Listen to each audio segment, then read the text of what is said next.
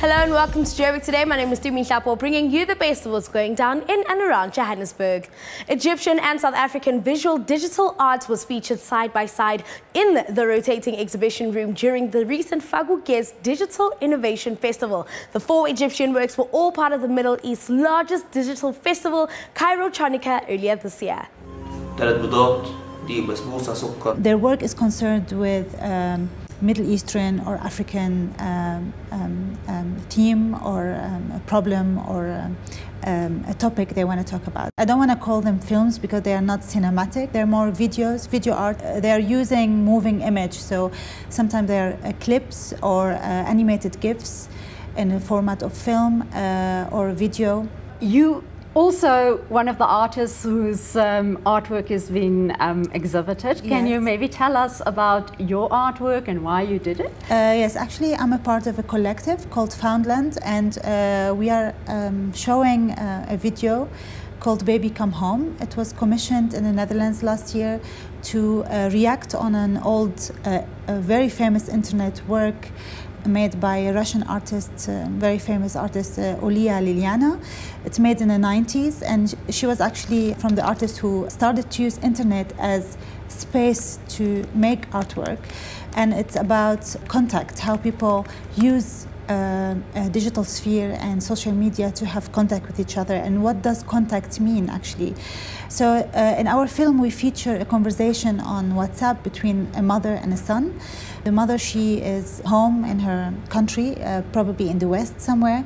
And her son he, he volunteered in jihadi groups. So actually you could sense the intimate relation between mother and son but also you could sense how um, how they, they uh, the gap between them, uh, that they belong to different worlds, uh, but using this digital media as a way to reach a contact again. So it's this kind of um, unease that internet or social media creates. There were also South African films. As a visual artist, what jumped out to you from what you saw in the other artworks? Actually, I was really interested in how in South Africa social media. Um, what I mean with social media and the internet is because they provide also like tool and different spheres that uh, you don't really see in public. Uh, that that uh, artists here they have really a specific way to approach those spheres and to use them to discuss different issues and it's, it's really important for their um, what they called uh, African identity. So I was really amazed by that how they um, developed also a way to to cooperate their work inside those spaces. So I met many artists who they call them, themselves that they have Insta fame and they're really they're showing their artworks on, on Instagram, for example, like they're really claiming the digital sphere to, to show their work because they believe the normal public domain has no space. And what about the South African audience compared to the Egyptian audience for this type of artwork? Uh, there is many similarity in a way. It's it's young uh, it's young audience, uh, very um, passionate about um, about um, about digital media and electronics and uh, about this kind of tools.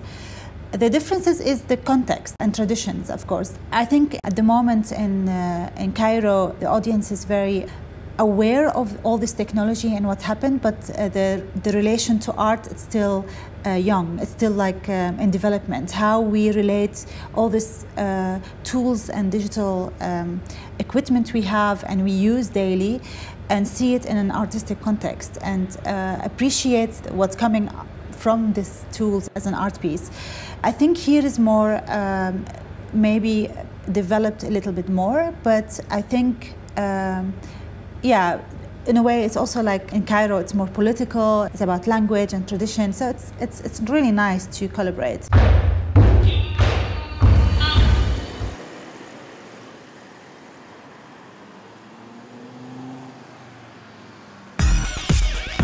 Like us on Facebook, JoburgToday.tv, and follow us on Twitter at Joburg Today.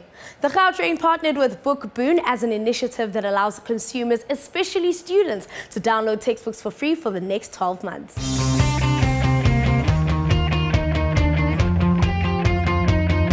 With it being Literacy Month, the Gautrain partnered with Book Boon to make professional and business e-books available for the Gautrain commuters. This partnership between the two enables free and efficient access to over 2,000 textbooks and books on various topics. Well, I think I think it's a it's a natural fit. Uh, public transport is something that allows you to uh, have time on the train, how you can use your time. That's the first part, and I think the second part is we, we are a country in Africa that has a huge youth population.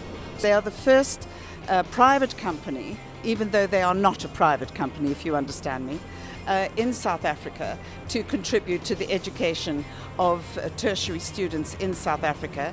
And now they've taken this wonderful step of making the network available to anybody traveling on the train, So you don't just have to listen to hip hop or, or Bach or whatever you want to be listening to. You can you can actually be listening or not so much listening, but actually reading the books that are available to you. I think we want to blend two things. It's really people who, who have made a choice of using public transport.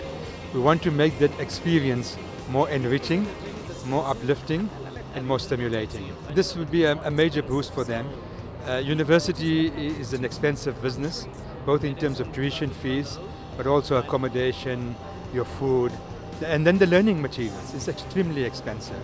And what this does is that it gives free access to a body of knowledge to any young person who has access to Wi-Fi. To find out more about this initiative, log on to www.bookboon.com. Select your desired topic, complete the short registration process, then click to download. I'm Puma Sheho for Joburg Today.